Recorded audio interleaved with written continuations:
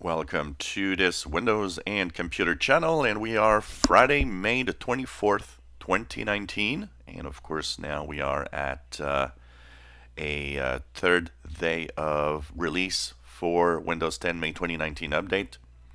Things seem to be rolling out well.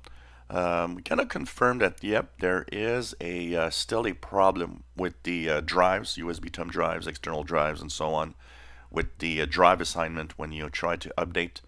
So it's possible that some with multiple, you know, uh, drives, thumb drives, and SD card readers and so on might have some problems. But um, Microsoft said by the end of the month it should be fixed. So the end of the month is, you know, a week from now. I guess uh, next week might be a, an update that will fix this.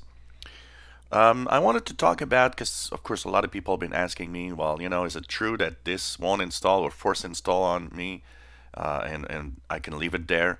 Yeah, up to a certain point. Like I said, when your version of Windows 10 comes soon to expire of the 18 months that it has of life, that's when it's going to start rolling to you and being pushed to you. And one such event is coming up, actually. I learned yesterday that um, if you're on the April 2018 update, so that's version 1803 of uh, a little more than a year ago, your version of Windows 10 is expiring in November of this year. It's going to have, it's done its 18 month cycle. And what I learned is that starting this June, you guys are going to have the May 2019 update forced on you, pushed on you, because that is the latest version and because you're getting close to a expired or a Windows 10 version that won't have any uh, security updates of course it's you still got it to May uh, starting June some of you will start getting this pushed on you if you're on the April 2018 update. So if you're there this is gonna arrive at some point and being forced on you because of the uh, 18 month cycle getting close.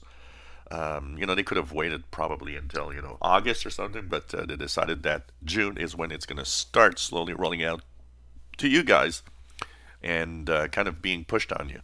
If you're on the October 2018 update, there's no problem. You'll be waiting, and this is going to be still, uh, you know, waiting there, and it won't be pushed on you until, um, you know, uh, late this year or early next year, and it's probably not going to be this version, but uh, the 19H2 version that's going to be pushed on you.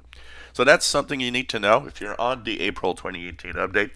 Starting in June, some of you are going to start seeing this pushed on you, and uh, that's the way Microsoft is going to work. And, and that's because that version is going to expire in November. So that's, I think, important news for some of you to actually understand. If you enjoy my videos, please subscribe, give us a thumbs up. Thank you for watching.